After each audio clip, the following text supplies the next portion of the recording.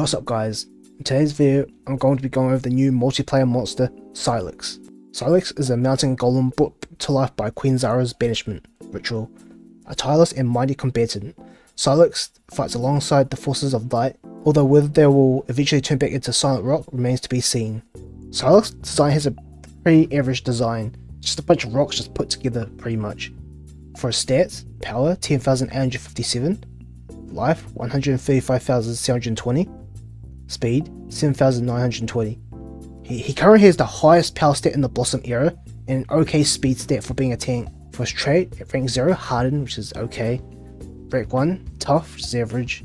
Rank 3, SC 50% life shield, which is okay. Overall, pretty average trait since he pretty much has no immunity to anything. He has decent relic slots for double armor so he can protect himself, but bad relic slots if you're using him as an attacker. Silex has somewhat of a bland move pool. He can apply Daze, negative effect removal himself, can play Life Shield, and can play Sunburn. The moves I would use will be Rock Sparks, which deals moderate light damage to all enemies, plus Sunburn to all enemies. For the second move I'll use Travelling Rock, deals very heavy earth damage to one enemy, applies a 30% life shield to itself.